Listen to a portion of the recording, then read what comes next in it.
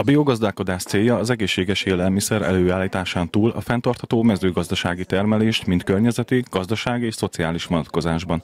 Az utóbbi időben a magyar fogyasztók figyelme is egyre inkább a hazai, egészséges, helyi, illetve otthon saját kertben megtermelt termékek felé fordult.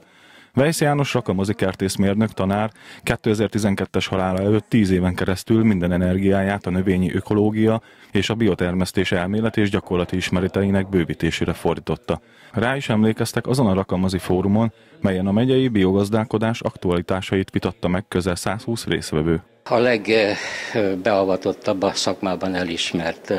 Én úgy mondom, tanárok jönnek, mert itt nem előadók és hallgatók vannak, hanem tanárok és tanítványok és ez annyira családias, ez a bipoláris kapcsolat, hogy van mélységére menni a legújabb ismereteknek, a technológiai szinten, a mikrobiológiai szinten, a genetika szintjén. Tudjuk, hogy a világban azért megindult a biotermesztésnek a, a, a reneszánsza. Mindenki érzi azt, hogy ez a járható útja, és a megmaradásunk érdekében ezeket a dolgokat kell hát összefogással erősíteni.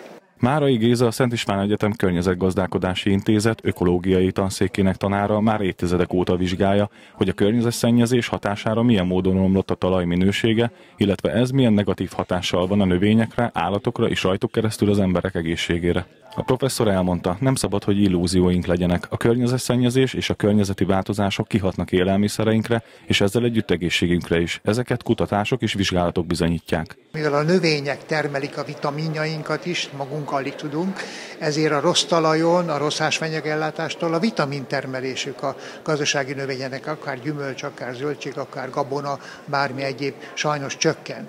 Ilyen értelemben tehát egy nagyon komoly, folyamatosan láthatóan 30-50 éve tartó ásványanyag, mikroelem és vitamin csökkenés van ezekben a növénytermesztési produktumokban, és hát ez kihat egyrészt az állattartás bizonyos eredményeie, hiszen ahol a kálcium hiányzik a talajból, ott bizony rendkívül erős kálcium hiány van.